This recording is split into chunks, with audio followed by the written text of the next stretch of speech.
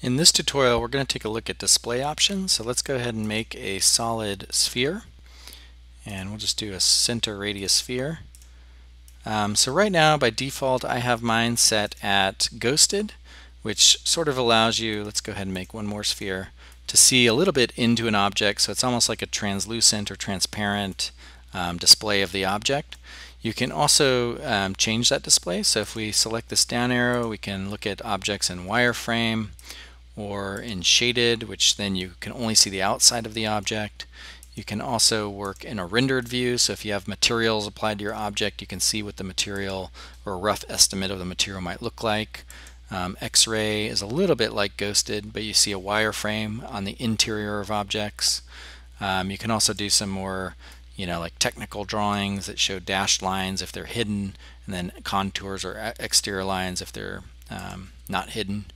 You can also change to artistic or pen um, or arctic, which is sort of nice for um, backgrounds behind uh, line drawings.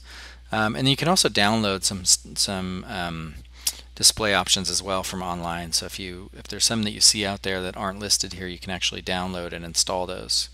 Um, one nice thing, I tend to work with Ghosted just because it's a kind of nice uh, balance between a wireframe and a shaded view. So that's what I typically work with. Um, but one nice thing that you can also do uh, that's just a useful tool. So let's say we have a solid box here and a few other solid geometries. If I'm working on uh, a bunch of objects and I just want to work on this one for a while, I can actually select all of the other objects. If I hold down shift, I can select multiple objects and then type hide.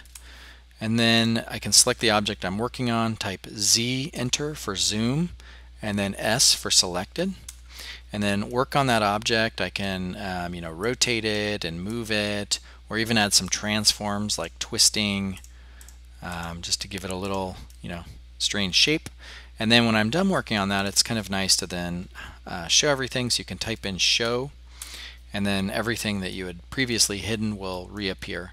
So it's just an easy way. I mean, you can also do this with layers by turning on and off layers, but if you're working very quickly, show and hide are really good useful commands.